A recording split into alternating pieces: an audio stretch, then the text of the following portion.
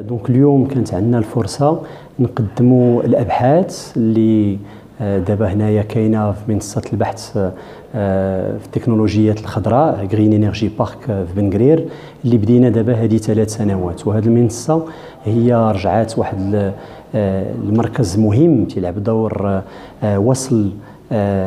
ويجعل واحد العلاقة بين الجامعة والشركات بالنسبة للبحث التطبيقي والابتكار في ميدان التكنولوجيا الخضراء وهنايا بالخصوص آه، في ميدان ديال الطاقة الشمسية. والآن عندنا تنساعدوا تنساندوا آه، طلبة وباحثين من كل الجامعات بالمغرب.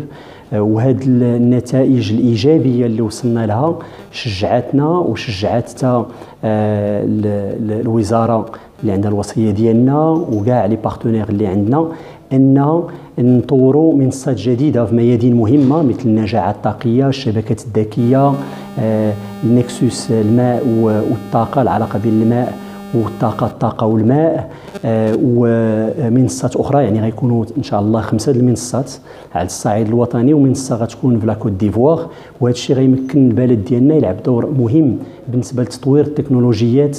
في هذا الميدان التكنولوجيات الخضراء آه، ولعبوا دور مهم بالنسبة للبحث العلمي البحث التطبيقي والابتكار ونطوروا حلول وتكنولوجيات مغربية للبلد ديالنا والقارة ديالنا.